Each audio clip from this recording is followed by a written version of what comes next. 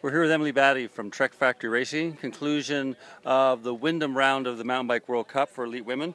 Uh, Emily, top Canadian, 14th place, but I have a feeling that's probably uh, not what you were looking for.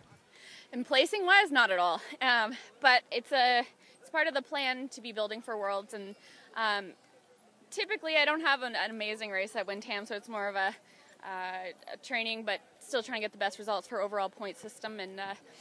I was riding strong, climbing well, descending even better, and just really lost a lot of time in that first lap and a half or so. So decent, um, but not what I was, you know, looking for exactly. But um, again, it's just building for Worlds. Now that first lap was it just the uh, the, the pace, or did you get caught up in traffic, or, or what happened?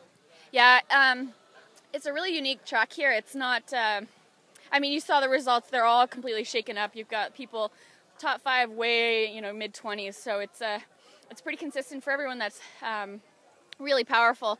It really throws you off here because it's such a powerful uh, like 15 minutes.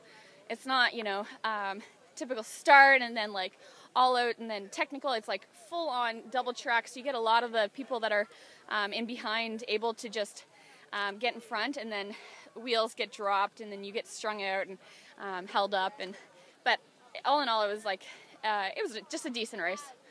So I guess then you know disappointed, but but not worried about your result. Yeah, exactly. Um, disappointed in uh, result, but um, uh, you know I was riding well and no concern there, and uh, just part of the, the grander plan. Well, great. Well, thanks very much. Great. Thank you.